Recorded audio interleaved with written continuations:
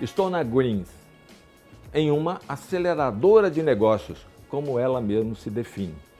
Eu estou com Fábio Menegatti, que é o CEO da casa. Obrigado em nos receber. Raul, para a gente é um prazer receber você aqui e eu pessoalmente tenho um grande carinho pelo Grandes Nomes e estou muito feliz de poder estar batendo um papo com você. É, deixa eu dar um gancho em você Manda aí. bala. Por que aceleradora? Defina isso. É, esse conceito é bastante simples de aceleradora. A gente primeiro entende né, quais são os desafios que a gente tem em comunicação com o cliente né, e aonde é que a gente de fato consegue mexer o ponteiro de negócio dele. Quando a gente entende isso, a gente pluga todas as nossas metodologias proprietárias né, e aí começa de fato a acelerar esses negócios e esses resultados. Né? Então tem os clientes que estão procurando a gente nesse sentido, né, os clientes atuais e os, e os novos clientes, novos negócios, têm é, procurado isso em comunicação. Parceiros para poder acelerar os negócios, menos preocupados em fazer propaganda, ou fazer branding, ou fazer só performance, ou fazer live marketing. É, que tipo de ferramenta a gente consegue usar para de fato entregar uma aceleração de resultado, uma aceleração de negócios. Né? Então, é, a gente tem um modelo de trabalho que é mais ágil, isso faz com que a dinâmica de trabalho seja mais rápida, mais acelerada. Né? As entregas a gente consegue ter mais flexibilidade, então consegue entregar mais rápido do que é, outras empresas ah, que trabalham nesse setor.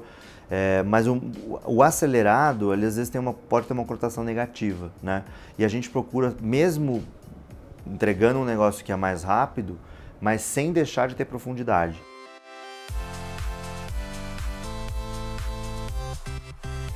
Acho que o modelo de aceleradora né, de negócio ele tem um componente chave para a gente, que são as pessoas. Né? Então não é à toa que a gente está no guia do Great Place Work do, do, ano passado e a gente tem muito orgulho disso.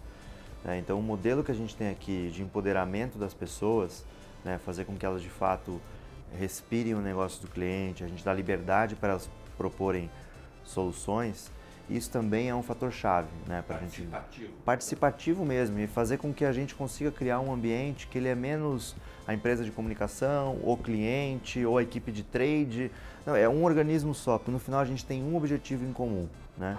Então aí que está talvez um dos cernes aí do nosso modelo de negócio, né, que a gente gostaria de, de perpetuar. Então, é, e ele ao mesmo tempo ele tem um ar de respirar startup, né, porque esse ar de startup significa para a gente ter um DNA mais digital, né, no nosso segmento aqui de, de comunicação, de ter realmente essa valorização das pessoas, tirando essa questão hierárquica, né, que é o presidente, é o sócio, é, ou o vice-presidente, aí vai demorar uma semana. Você.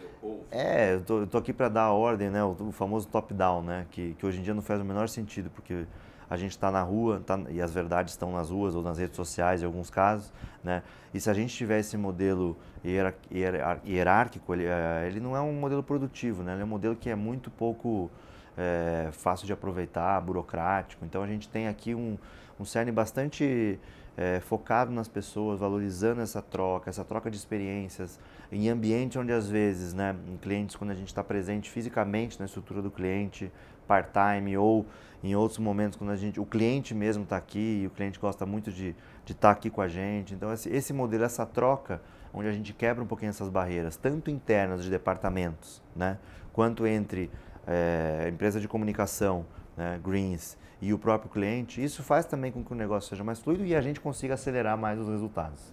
Um, um cliente, a gente não pode escapar de falar de clientes, obviamente, como o Pizza Hut, uhum. que é um mercado agressivo. Sim. Ele faz o dia a dia da agência ser mais quente, subir a temperatura ou não? Eu acho que ele faz o dia a dia da agência mais gostoso, né? Porque todo mundo gosta de pizza e trabalhar com, com esse segmento é muito legal. Mas mais do que isso, acredito que até pelo próprio estilo de negócio né, que Pizza Hut está inserido, um modelo de negócio que não vinha performando bem no Brasil, um negócio que tinha margem negativa, né, infelizmente, nos últimos anos.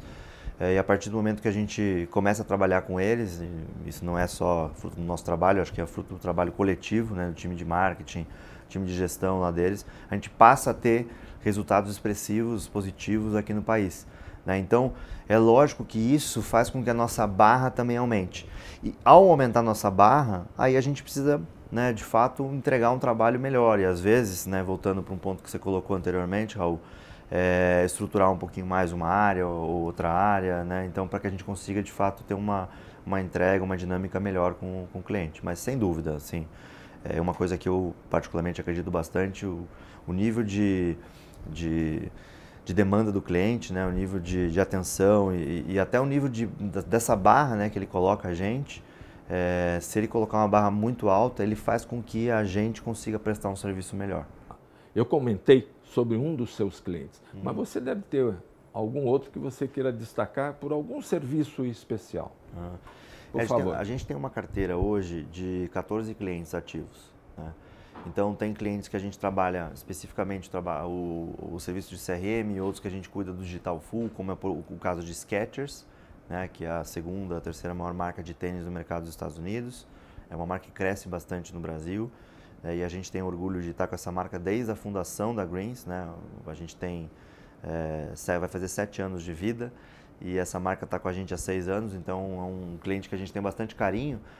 É, até modelos mais é, integrados, né? como é o caso de Pizza Hut, como é o caso de Coco Bambu, ou como o caso de novas marcas que estão vindo trabalhar com a gente, como é o caso de Nesfit, né? A, DPA e a Nestlé procuraram a gente para poder fazer o lançamento dos iogurtes é, Nesfit, uma linha nova que vai chegar no Brasil agora em, em janeiro. É, e tem esse, essa busca por, por essa complementariedade. Né? Então, é olhar o estilo de comunicação, buscar um pouquinho referências de empresas novas de comunicação, não pegar empresas que já estão consolidadas, ter um olhar um pouquinho mais provocativo, né? Em vários aspectos, tanto na remuneração, quanto na questão de, de empoderamento de pessoas, como eu comentei agora há pouco, quanto à estrutura não tão é, vertical, né? ela é mais horizontal mesmo. Enfim, acho que todos esses elementos é, trazem um pouquinho do know-how e até do tipo de cliente que a gente está atendendo. 2020, se você tiver uma bola de cristal, qual a tua previsão para a Greens? É, eu posso dizer que 2020 já começou aqui para a gente, né? a gente está num momento hoje muito bacana aqui de negócios, então é, tem novos negócios entrando aqui com a gente. É, e o que a gente pode dizer é que o ano já começa praticamente o dobro do que foi 2019, mesmo sem ele ter começado. Né? Então, isso é um motivo de bastante orgulho para a gente é aqui. Estamos é, crescendo a estrutura, é, não só em pessoas, mas também fisicamente. Né? A gente está hoje com um momento bastante é, interessante e, e, é muito engraçado porque quando você conversa com as pessoas do mercado, né, você escuta justamente o contrário. Né? Então, eu acho que é, talvez a gente esteja passando por um realmente por um momento de reflexão. Né? E os clientes, eles não vão deixar de ser clientes, mas talvez eles precisem de uma entrega de serviços diferente das convencionais.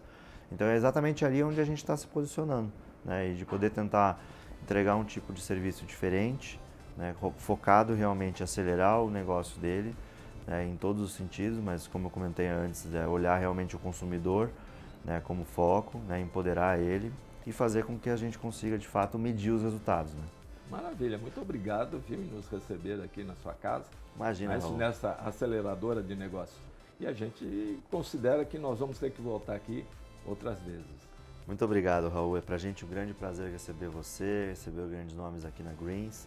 Tem as portas sempre abertas aqui para a gente. Muito obrigado. E esperamos que a gente possa trazer muitas outras oportunidades de negócio para vocês e poder acelerar o negócio de vocês também. Todos nós. Muito obrigado. Muito obrigado. Até mais.